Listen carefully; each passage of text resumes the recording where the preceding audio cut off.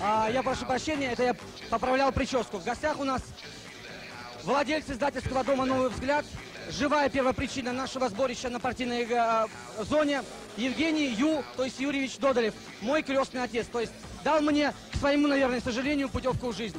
Евгений Юрьевич, за время нашей первой беседы, со времен презентации Сташевского, вы так и не ушли окончательно в политику, хотя грозились. А, Понимаешь, сейчас не тот момент, чтобы уходить в политику. Я вижу очень большое будущего а, издательского дома «Новый взгляд» в контексте шоу-бизнеса. Во-первых, ты растешь на глазах. Несомненно. А Потом не хватает уже изданий, чтобы ты публиковался. Потому что те газеты, которые существуют в стране, они не вмещают. Скажите, а, Евгений Юрьевич, почему вы так, а, так небрежно поступаете по отношению к тем изданиям, которые породили на свет Божий? Столько лет уже существует газета «Музавоз», а вы только сейчас устроили ее презентацию. А, Дело в том, что э, я дождался того момента, когда издательский дом «Новый взгляд» действительно станет издательским домом. И э, сейчас э, у нас четыре журнала появилось синхронно сразу. И с этого момента, я думаю, мы действительно можем называться издательским домом «Новый взгляд».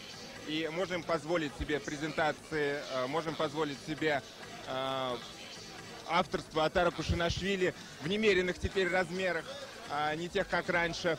И а, я думаю, что все будет, что политику будет определять шоу-бизнес через э, некоторое время в стране. Я не понял одной детали. А в, в той зоне, которая у нас величиво называется ВИП-зона, сидит много людей, которые нагоняют состояние столбняка на население в силу своей известности. Как они относятся к шоу-бизнесу вообще?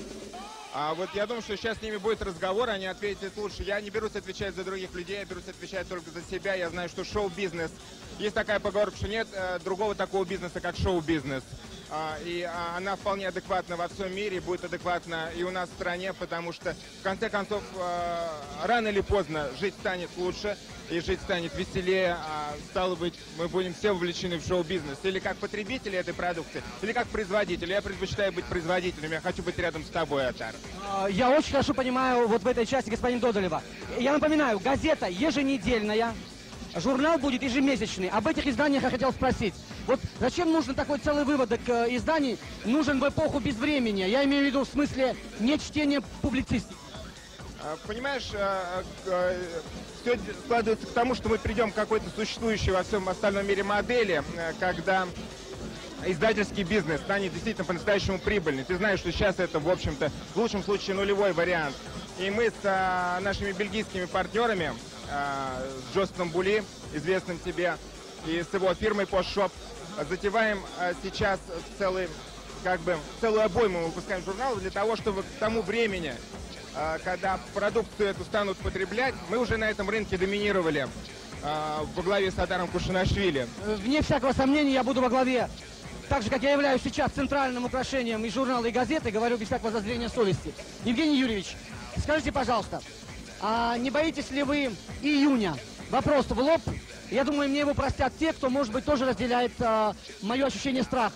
Видишь ли, я близнец. Я рожден в июне. Я не могу бояться июня. Это мой любимый месяц. Все, что случается в июне, это прекрасно. То, что произойдет 16 июня, будет достойно. Народ делает свой выбор. Народ всегда прав. Поэтому я всегда с народом, что бы он ни сказал. Вот так же обтекаемый Евгений Юрьевич всегда. Я хотел бы напослед спросить. У нас сегодня презентация журнала и газеты «Музабосс». Мне начальство велело не обойтись без двух лизоблюдских фраз в адрес того, кто владеет знанием о всех стилях и направлениях, Ивана Ивановича. Говорят, что его участие в этих проектах номинальное, он очень пренебрежительно относится. Его занимает только телевидение. А, неправда. А, дело в том, что Иван, он как бы стратег. Он вот генерирует какие-то идеи, а люди как бы их развивают, доносят. Ваня на самом деле очень много э, делает э, для печатного дела в издательском доме «Новый взгляд» Музавоз, потому что он определяет какие-то вектора основные. Это абсолютно, так сказать, э, прав. Я по отношению к Ивану, как младшему по возрасту и старшему по положению товарищу, могу сказать, что он а, абсолютно, в общем-то, является стратегом и в этом направлении, в печатном тоже. Евгений Юрьевич Додолев, мой профессиональный папа, печатный магнат, человек, не боящийся июня. Не бойтесь и вы, оставайтесь с нами. Поздравляю вас с презентацией. Это и моя презентация.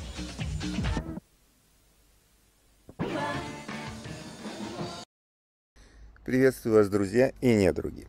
В 90-е годы частенько мне доводилось давать интервью. Э, Причем собеседниками моими были такие маститые мощные, масштабные фигуры, гиганты профессии, такие как Тина Канделаки, Атар Кушанашвили, Дима Быков, Дмитрий Дебров. И э, сейчас, спустя десятилетия, я иногда приглашаю их в качестве интервьюера. И, э, естественно, в рамках подготовки к беседе, если нахожу, пересматриваю свои интервью этим персонажам. И не без раздражения в отношении самого себя понимаю, что я очень, очень злоупотреблял Стебом. Ну, время такое было, 90-е годы. Страна выживала, поэтому это какая-то защитная такая, мне кажется, была тема. Через Степ, чтобы не говорить о каких-то вещах всерьез. Может быть, зря. Сейчас вот я смотрю, думаю, может быть, зря. Но время все расставит по своим местам. По-любому мне это бывает иногда интересно взглянуть и на самого себя, и на своих собеседников под этим углом.